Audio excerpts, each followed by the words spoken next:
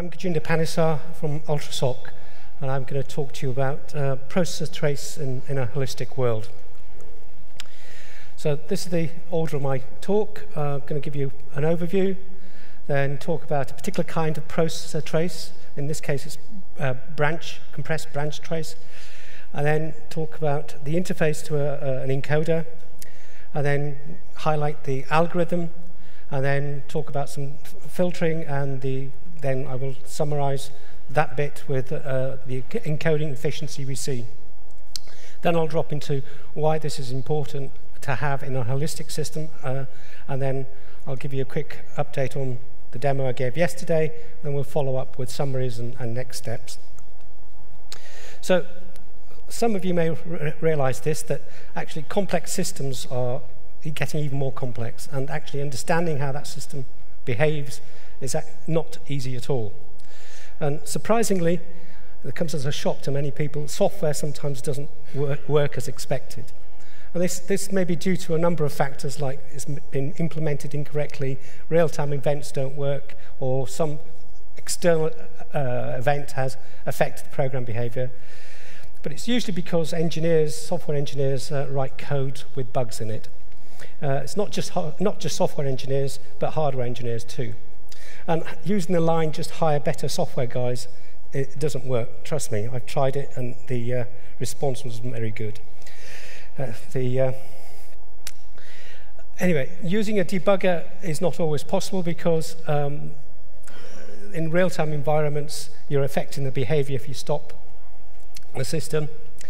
Uh, and so, you know, quite a lot of the time, you want to see pro, uh, um, processor behavior, code behavior while the system's running and see what effects it has when certain events happen inside the system. So providing visibility of uh, program execution is uh, very important. Uh, this needs to be done in a sensible way, otherwise if you provide uh, instruction by instruction uh, information, you'll swamp the, SS, the system and therefore defeating the object of, of, of visibility. And one way of providing this visibility is uh, something called uh, branch trace, in fact, uh, which I'll describe shortly. So branch trace works uh, by tracking the execution uh, from a known start address and then sending out messages uh, when deltas happen in the program. The deltas are typically introduced by jumps, calls, returns, and branches. For instruction sets architectures like RISC-V, uh, which is a very nice instruction set, because this works quite well because there are no predicated instructions. So all we need to worry about is branches, jumps, etc. So we can take this and only emit uh, bit vectors that says uh, when branches are taken or not taken and only send out addresses that can't be predicted uh, at uh, decode time. So if the program counter changes by an amount that can't be determined uh, by the execution binary, only then do we send the destination address.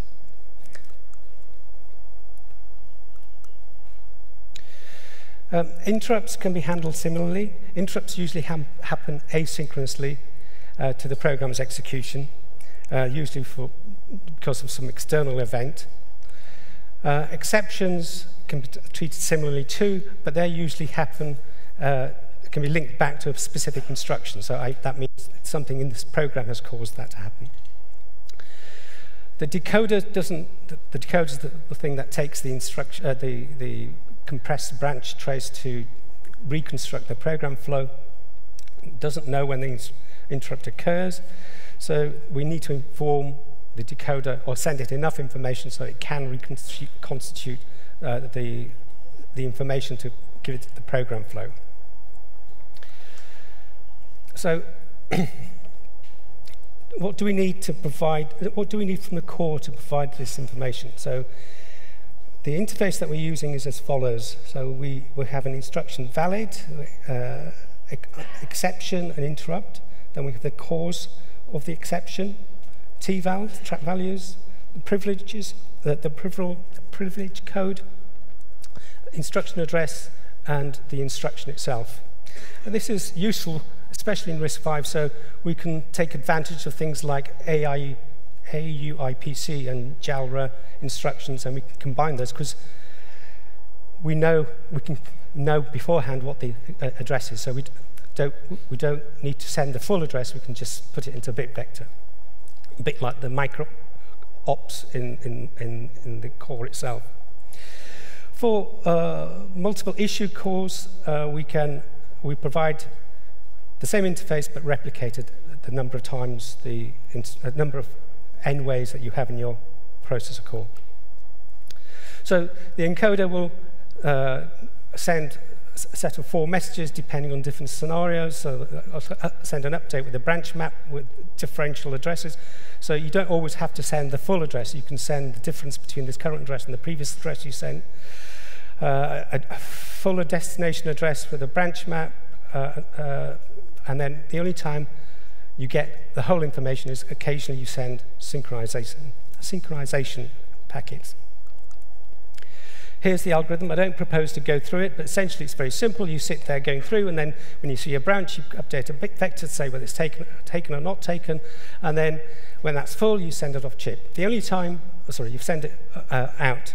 The only time you need to worry about addresses is when there's some uh, unpredictable discontinuity to the PC. And this is introduced by exceptions or uh, indirect, jumps. And so there are, in our encoder, there are four packets, uh, sorry, four messages and different formats, the different scenarios. Uh, you can read through the flowchart uh, because it'll be on the slides. So once you've done that, e even compressed branch trace is, is, can flood the system. So in, you know, there is a need for controlling how much uh, bandwidth, how much trace you get, and hence the traffic you get off chip. And so therefore you need some sort of filtering. Um, the filtering can be trace in an address range, trace start to an end, or sorry, when you hit an, uh, uh, start when you hit an address, end when you hit an address, trace just the privilege, privilege levels, or trace just interrupt service routines. Or you can do tracing at fixed periods of time, or start tracing when you get an event from some other module on chip, which I'll show you in a minute, or stop tracing when another module uh, indicates uh, an event. So we did some uh, benchmarks. We took the, the, some routines that are fed into Spike. We took the same routines and then fed those into the, into the encoder, and this is the efficiency we get. Clearly, it depends on the type of program you have. The more branches, the more unpredictable uh, uh, uh, uh PC, uh, unpredictable PC events you have, the, the, the more uh, bits you have to send. But I think that's a fairly reasonable coding efficiency. and the, the, sorry, that, that does not include any of the overhead that you would need to route it off chip. This is the, what comes out of the encoder. So in a holistic system, so this is a, a, a, an SoC.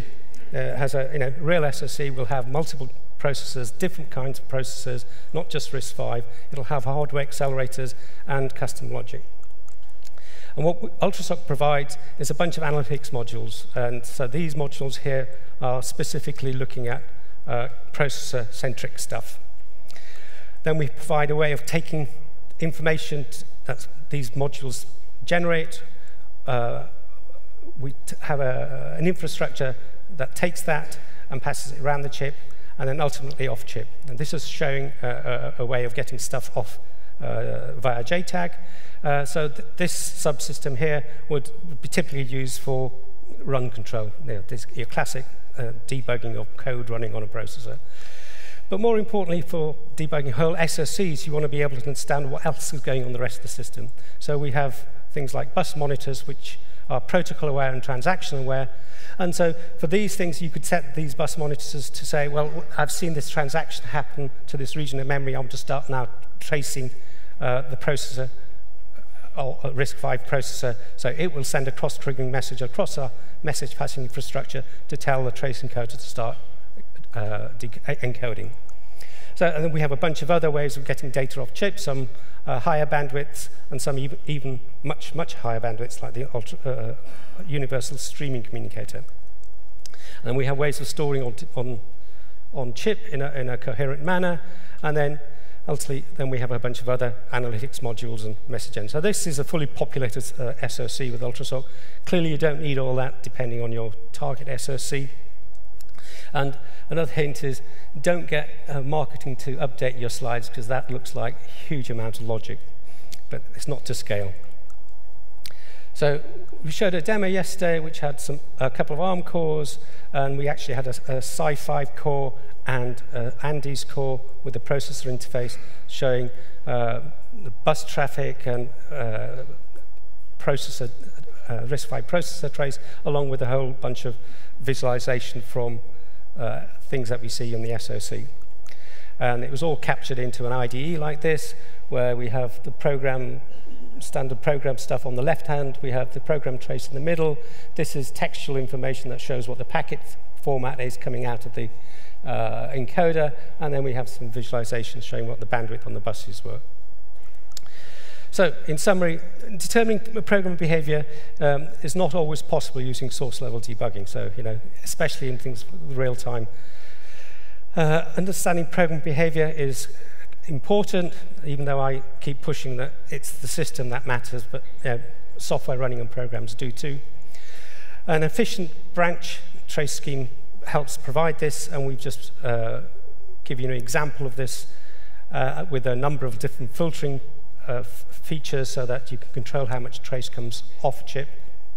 And if you couple this with a, a holistic uh, debug and monitoring infrastructure, you get a, a, a visibility and monitoring of a quite complex SOCs.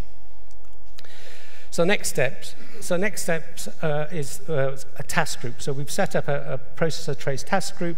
It's in uh, workspace. Dot, it's in workspace. So if you've got a workspace.riscv.org account, you can uh, get access to it. If you don't, uh, I would uh, encourage you, and if you're interested, I encourage you to contact Sue to get you membership of the, of the work group. And then what we're planning to, the charter is that we'll uh, standardize the interface the encoder and the packet format that comes out.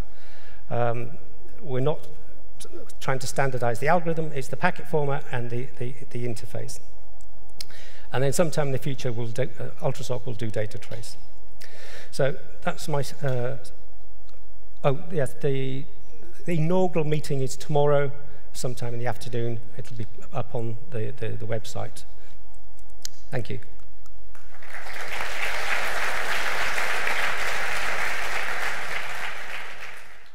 This seems in, uh, specific to embedded systems, but on a, say, a Unix system, you might unload or load code into memory, uh, and that would make the traces you know, not relevant anymore. Is that correct? Uh, it's largely embedded, but then you can play tricks with your debugger that will know when you've downloaded code and unloaded code, so that would have to keep track of something like that.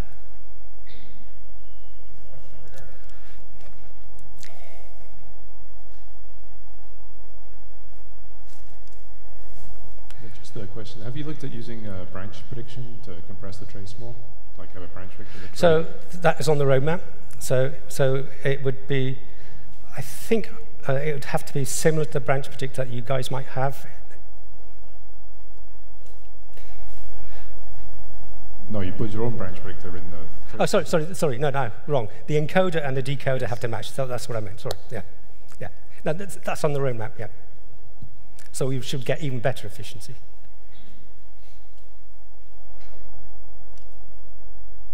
Do you want to trace unconditional branches as well, or you prefer developer to restore execution flow from assembler since branch unconditional? Uh, so that's all captured in the bit vector. The only time that we, we send out any, so that's captured as part of our bit vector. Uh, if the destination is not known, that's when we send the address out. So that should all work.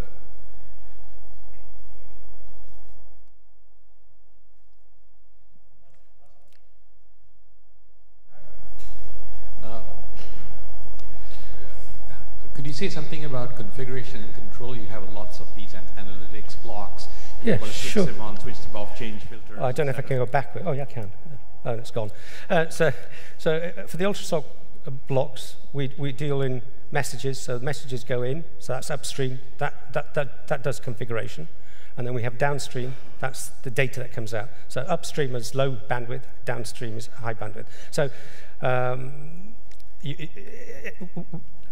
we showed on the demo, we have a USB thing. We, one of our modules is a hardware USB block, which does USB 2 completely in hardware, so you don't need any software running from it. But that's just, that's just a means of getting the packets in. So we also support uh, a way, conventional way, so an, an AXI communicator where you can write stuff in, but it gets converted into messages which get sent into the UltraSoC. So it's configured at runtime.